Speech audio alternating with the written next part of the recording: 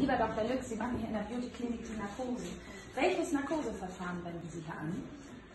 Wir haben uns auf die TIVA versteift, weil sich herausgestellt hat, dass man sich danach am schnellsten erholt.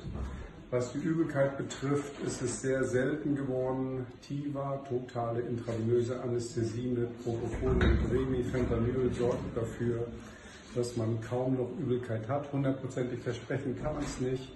Gibt man prophylaktisch noch ein Antiemetikum, also ein Mittel gegen Übelkeit dazu, ist es fast ausgeschlossen, dass man sich hinterher schlecht fühlt und Übelkeit entwickelt. Was ist der Unterschied zu den Narkosen früher? Können Sie uns das kurz erläutern? Früher waren die Narkosemittel sehr lang wirkend und hatten auch noch nach Beendigung der Narkose ihre Wirkung, die sicherlich nicht so ausgeprägt war wie in der Narkose selbst, aber es gab dadurch viele Nebenwirkungen, die auch die Überwachung hinterher komplizierter machten. Was ist eigentlich eine Lama und können Sie uns vielleicht so etwas nochmal zeigen?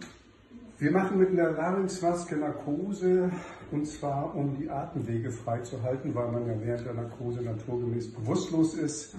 Das ist eine schonende Methode, weil man nicht mit der Stimmritze in Berührung kommt. Das ist besonders für Berufe wichtig, die sprechen müssen, Fortbildung machen, Lehrer, Schauspieler oder Sänger.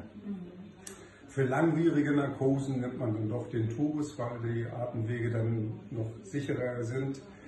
Oder man nimmt den Tubus, wenn eine komplizierte Lagerung zum Beispiel auf dem Bauch erforderlich ist, weil man dann an den Atemweg nicht mehr so richtig rankommt. Und da ist dann der Tubus das sicherste Verfahren. Wunderbar. Dann danke ich Ihnen für das Interview. Ja. Vielen Dank.